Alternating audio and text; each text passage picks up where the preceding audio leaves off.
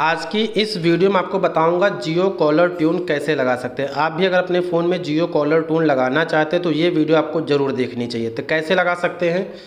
Simple से हम क्या करेंगे, यहाँ पे माई जियो एप्लीकेशन को ओपन करेंगे। जैसे मैंने माई जियो एप्लीकेशन को ओपन किया, आपके सामने कुछ इस प्रकार का इंटरफेस दिखाई देगा।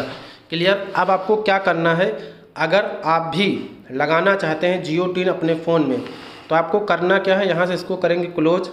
क्लोज करने के बाद नीचे देख सकते हैं, यहाँ पे एक ऑप्शन आपको दिखाई देगा जियो केयर रिचार्ज बहुत सारे ऑप्शन दिखाई देंगे। एक ऑप्शन आपको यहाँ पे दिखाई देगा जियो टून्स का ऑप्शन दिखाई देगा। कौन सा? जियो टून्स सिंपल से जियो टून्स वाले ऑप्शन पे आपको क्लिक कर देना। यहाँ पे जहाँ पे मेरा माउस कर्सर है, इस पर जियो टून्स दिखाई देगा। जियो टून वाले ऑप्शन पे क्लिक कर देना। जैसे आप जियो टून्स वाले ऑप्शन पे क्लिक करेंगे, अब यहाँ पे जो भी जियो टून आपको लगानी है वो जियो टेन आपको यहाँ पे मन पसंद मन पसंद गाना आपको यहाँ पे चूज़ कर लेना। जो भी आपको गाना अच्छा लगता है सिंपल से चूज़ कर लेंगे। चूज़ करने के बाद देख सकते हैं मेरे में पहले से लगी हुई है। ठीक है?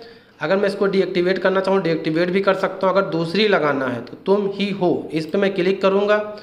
क्लिक करने के बाद यहाँ पे हम प्ले करेंगे। हम तेरे बिन अब रह नहीं सक अगर मुझे ये वाली रिंगटोन लगानी है अपने फ़ोन में तो मुझे सेट वाले ऑप्शन पे क्लिक कर देना। जैसे सेट वाले ऑप्शन पे क्लिक करेंगे तो यहाँ पे देखिए इसमें एक मंथ एक फ्री टून लगा सकते हैं। उसके बाद आपको यहाँ पे पैसा देना होगा दोबारा लगाने के लिए। जैसे मैंने यहाँ पहली वाली लगाई थी, तब मुझे पैसा नहीं पड़ा था। एक महीने में एक बार अगर आप दोबारा लगाते हैं तो यहाँ पे आपको पैसा पड़ सकता है।